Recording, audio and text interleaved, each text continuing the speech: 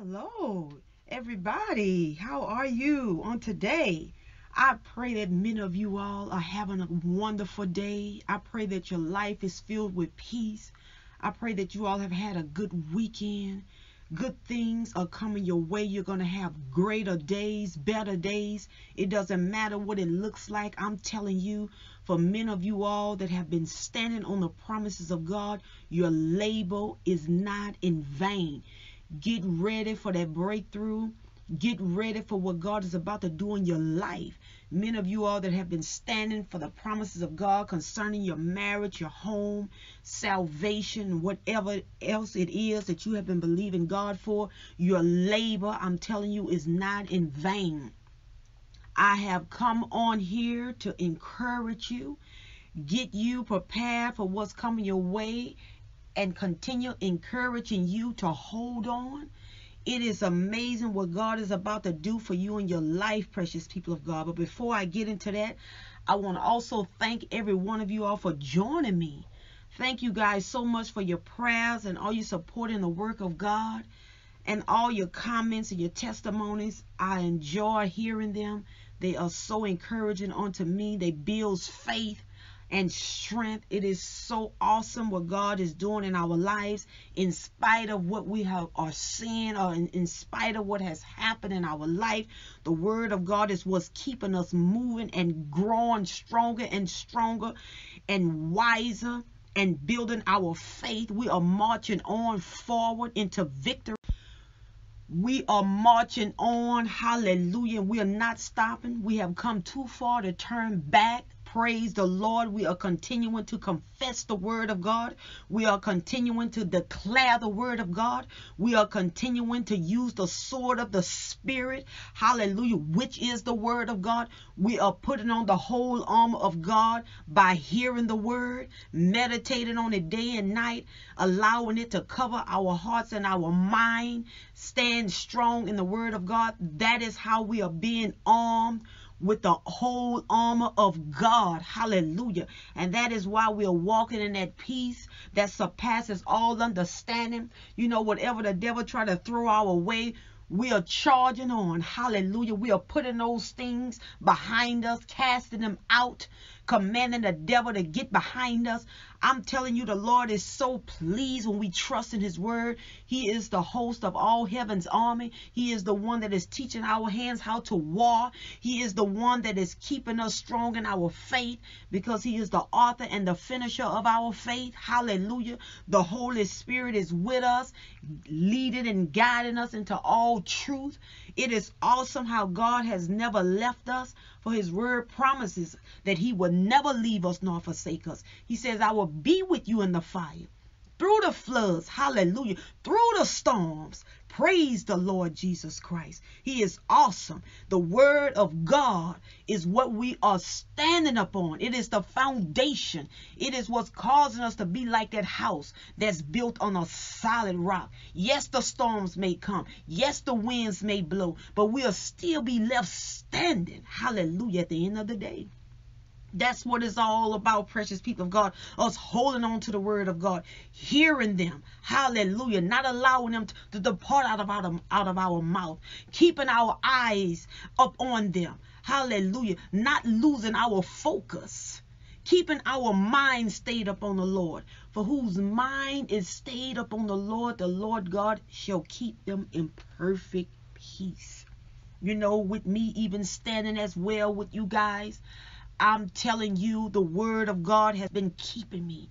And the word of God is what shall keep you if you hold on to them. Never let them go. Hallelujah. You know, it's an it's an awesome thing. How the word, something that seems so small, has been keeping us above the storms. Praise the Lord. We thank him for his word. You know, David went through the same things when his whole life looked like it was over. Everything was burned down to the ground. Remember the word of God talks about it, tells us about it in 1 Samuel chapter 30. Ziklag, what David were, his home were, his family, and the men that were with him in that land of Ziklag, it was burned down to the ground by the enemy. the Amalekites had came in when they were not aware and came in and took their families, came in and took everything and then burned everything down to the ground. Can you imagine what David had to been feeling? To see everything burned down to the ground, that is a sign to anybody that it is over. Oh, but he recovered it all. And if David was able to recover all after it all had burned down to the ground, just think of what is going to happen with you and I, precious people of God. Just think about what is coming our way, how we are recovering all. We're going to look at it, remember, in First Samuel. Verse 6, chapter 30, the Bible says that David, first of all, encouraged himself. He was strong in the Lord. He began to encourage himself in the Lord his God. That's what it's all about, precious people of God.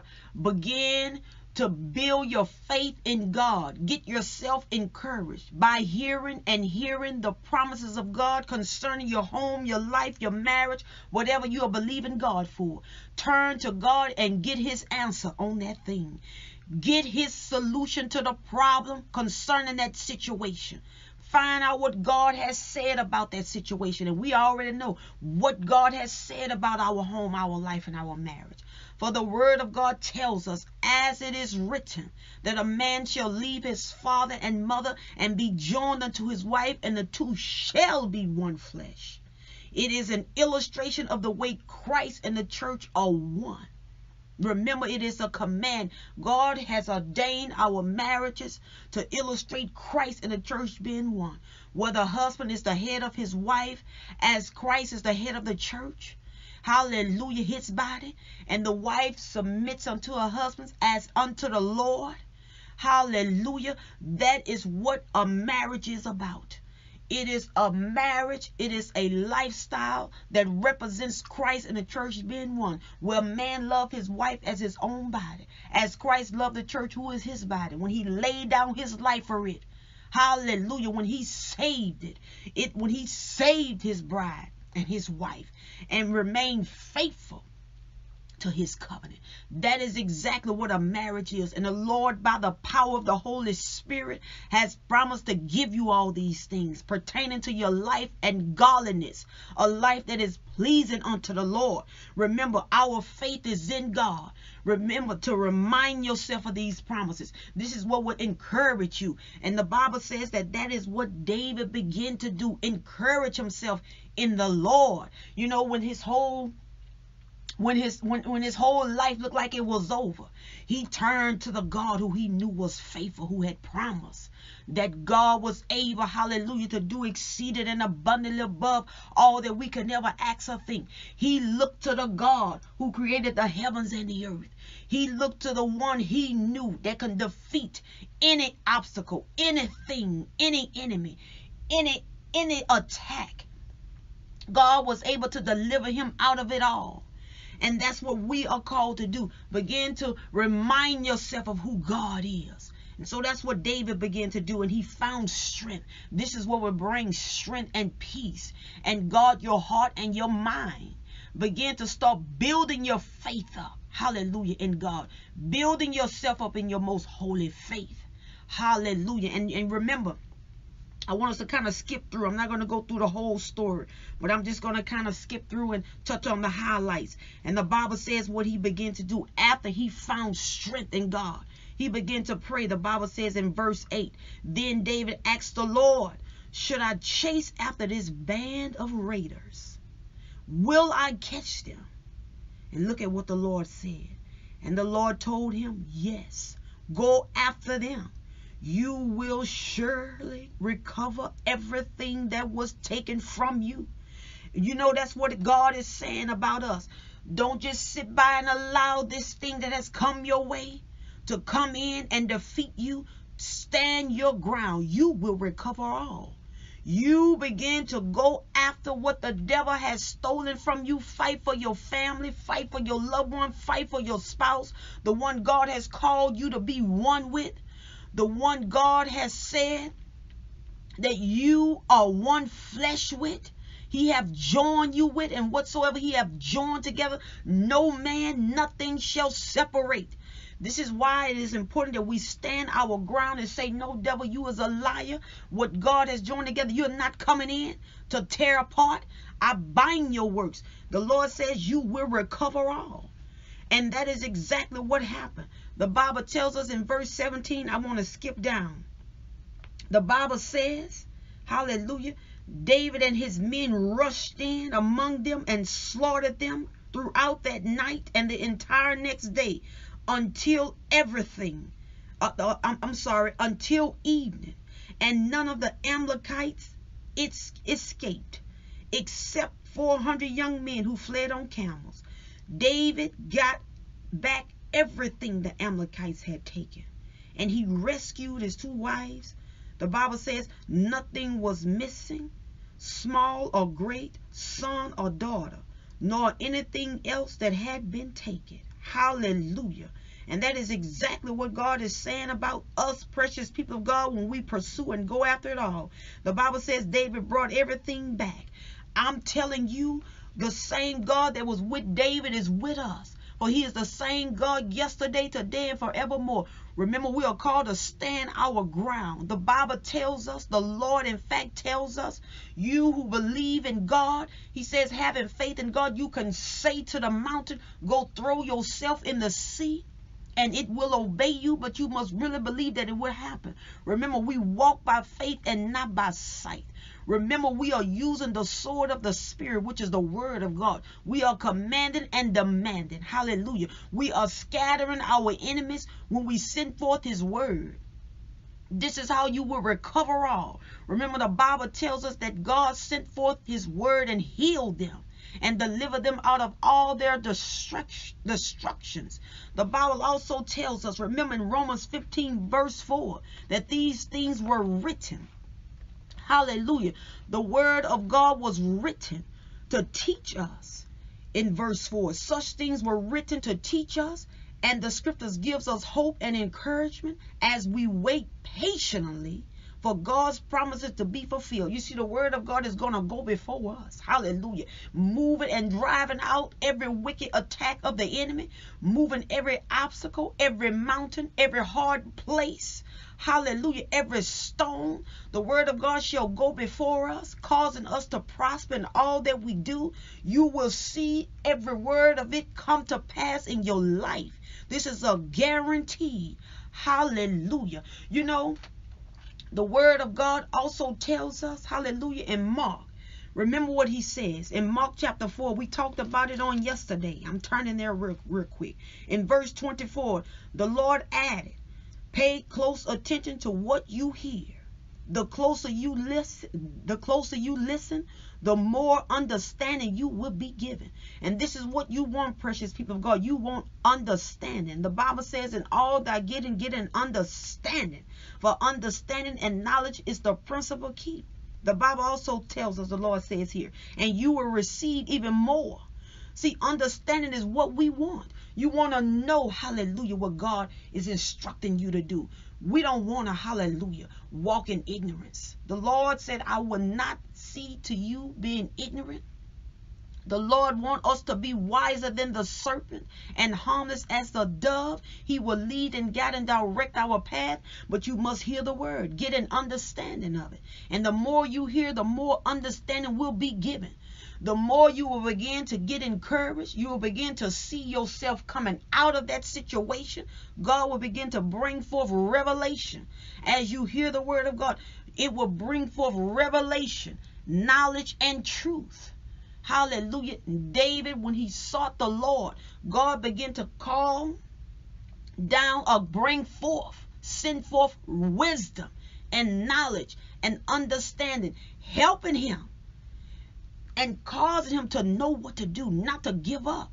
You see, this is what happens when we lean not to our own understanding, but acknowledge God in all that we do. He will lead and guide and direct our path. Turning to the word of God, the Lord says, the closer you listen, the more understanding you will be given, and you will receive even more. But then he goes on in verse 25 and says this To those who listen to my teaching, more understanding will be given.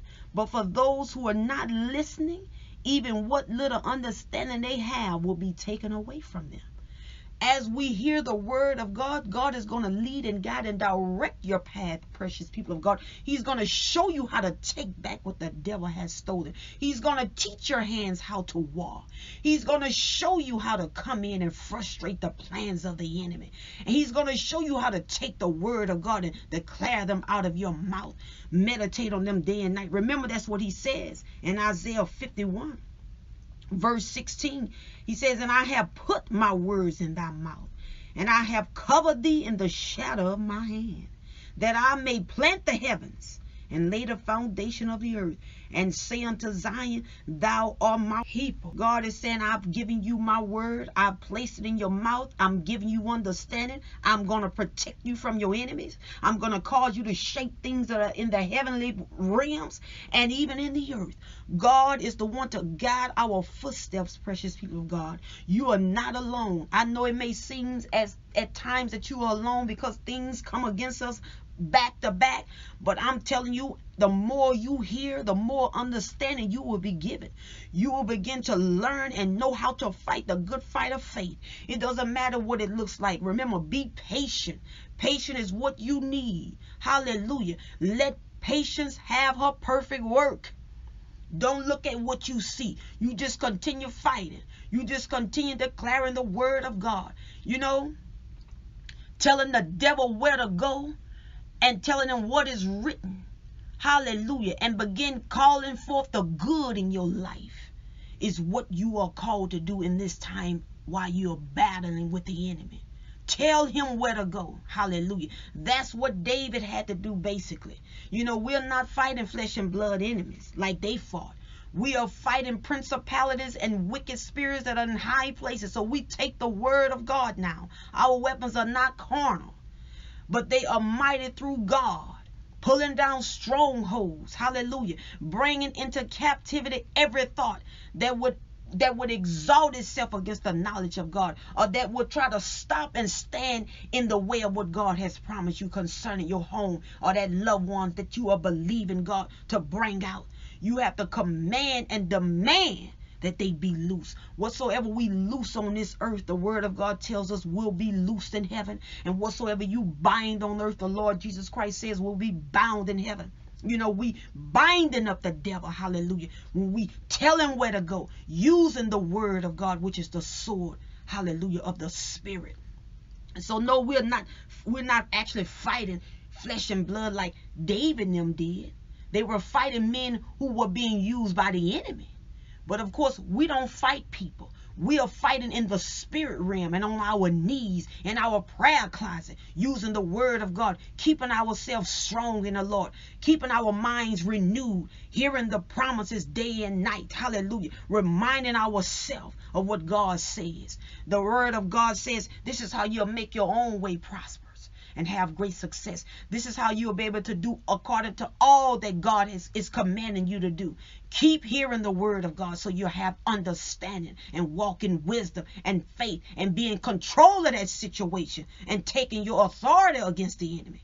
You know, it's time to make a switch and turn in your life, precious people of God, by removing the darkness and calling forth the light. Remember, when you got a life when you see your life being filled with chaos and thorns and thistles and troubles, it's time to uproot them and start planting the word of God, which is seed. Hallelujah. If you want to reap a better harvest. Remember, it's by sending out the word of God. What happened in the beginning when everything was dark and empty and void? Where the Lord sent forth his word. He spoke, let there be light, and it was. Hallelujah. And we are called to be in his image and in his likeness. Remember, we are called to imitate Christ, the Bible says, in everything in Ephesians chapter 5, verse 1. In everything, and even walk in love, but we also walk in his power. Hallelujah. And in the power of his might.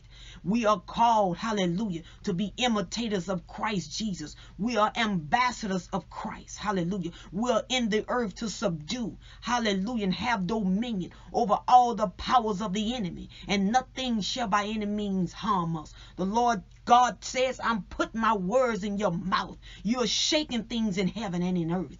You're causing things to happen. You're calling forth those things that be not as though they were.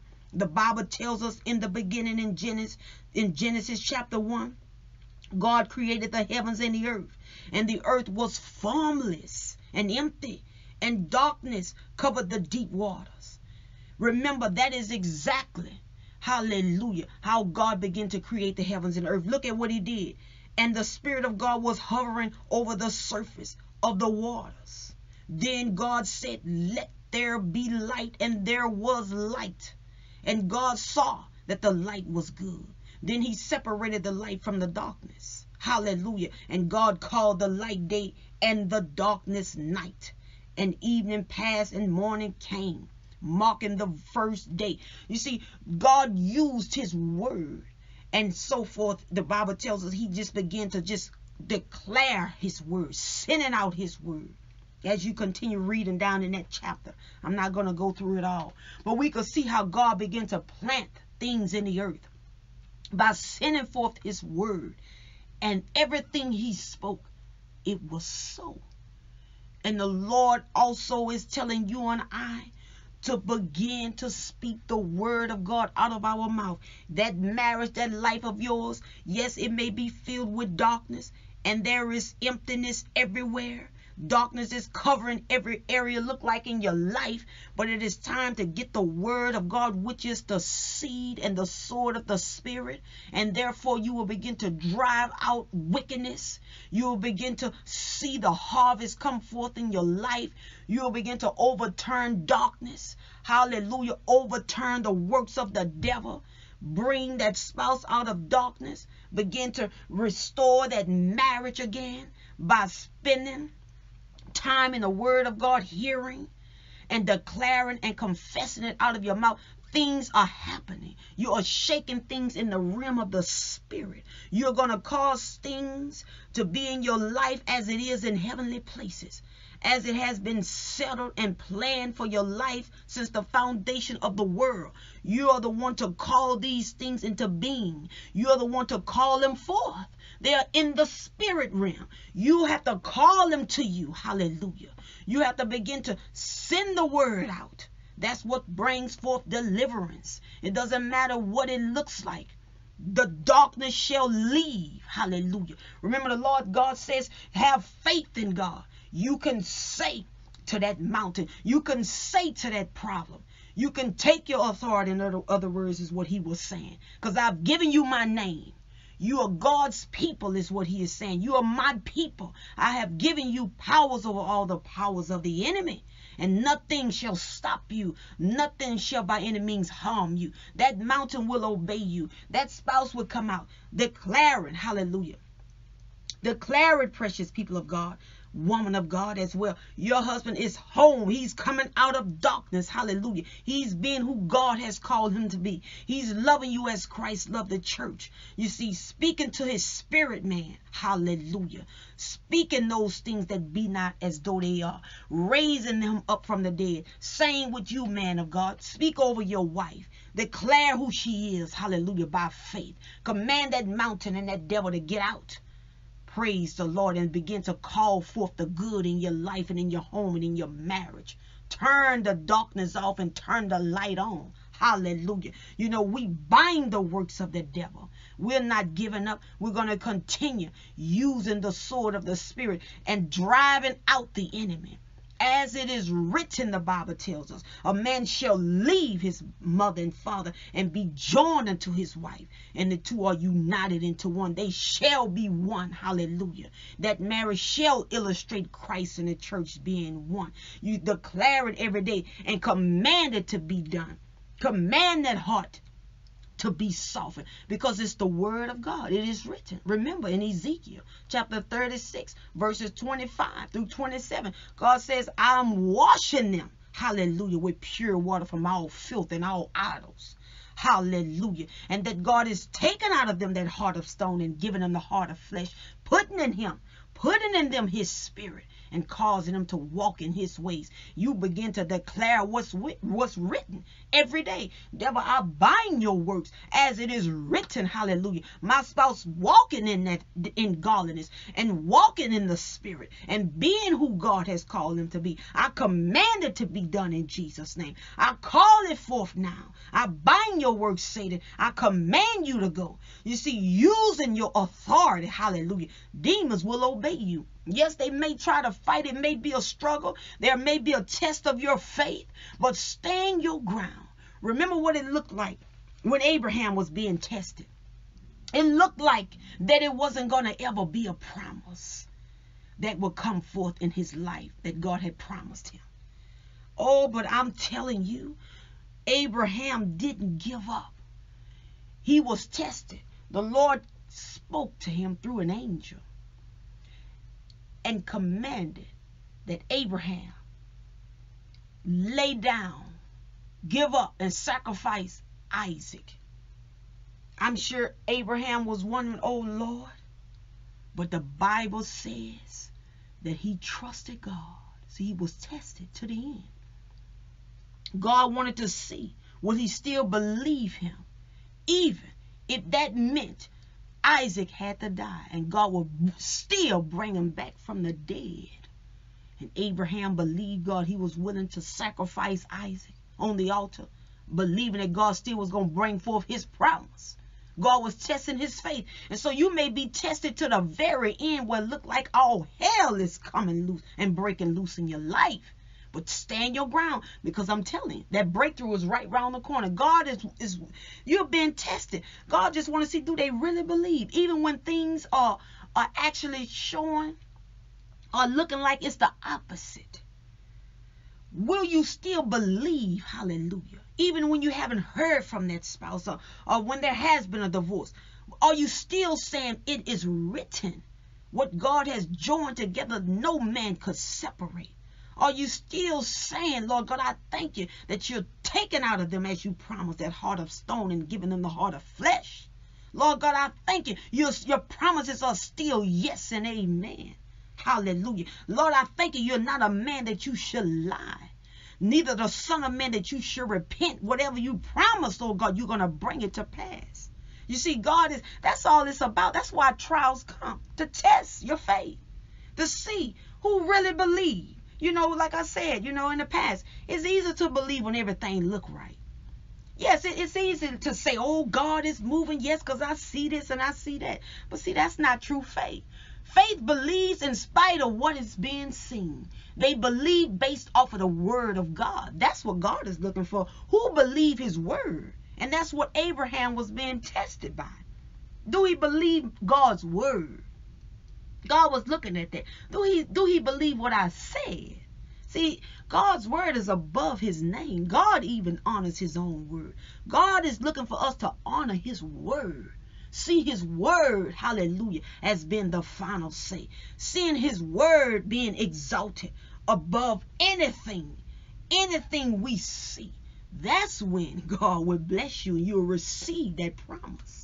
Hallelujah. Precious people of God, get ready. Many of you I know are strong in your faith. Many of you have been holding on. I just love it. You know, when I hear your comments, many of you all even, you know, declares or, or comment how you're going through, but a lot of you say, you know, but I'm still holding on. It doesn't matter what it looks like. I'm still standing strong. That's what you call a warrior. That's what you call, hallelujah, a strong man or woman of God. That's what it's all about. And remember, if your faith is not strong enough, it will be the moment you begin to hear it, the moment you begin to confess them, the moment you begin to take heed to what God has said, hold on to them, but begin to declare them day and night. They will get in your heart. You will be given more understanding and strength and grace peace will come. You will begin to stand. Hallelujah. And you know, precious people of God, I'm going to pray with you guys, but I just want you to know this here. God is faithful who promised. Hold on. You are almost there. You are almost there. You know, it is such a joy when we obey God. Obedience always brings joy. Oh, hallelujah. That's what it's all about. Being obedient. For obedience is better than sacrifice. And so now I'm going to pray. Father God, I thank you for everyone that has joined me on today. Thank you for every faithful stander. Lord God, thank you for giving them the power and the strength and the grace to fight the good fight of faith and bring forth your glory. Thank you, Lord God. Hallelujah. Your glory shall be seen in our life. Hallelujah. Your word, hallelujah, Lord God, will not return back void. Thank you, Lord God, that every promise is being fulfilled. Thank you, Lord God, that every spouse is coming out. They are brought out in Jesus' name. Thank you, Lord God, they are being saved and delivered and set free even now while I'm praying. Thank you, Lord God, we are shaking things in the heavens. Oh God, we are causing things on this earth to be as it is, oh God, as it is written oh God, by confessing and using the sword of the Spirit. Lord God, we just thank you, Lord God. Weeping only endures for a night, but joy comes in the morning.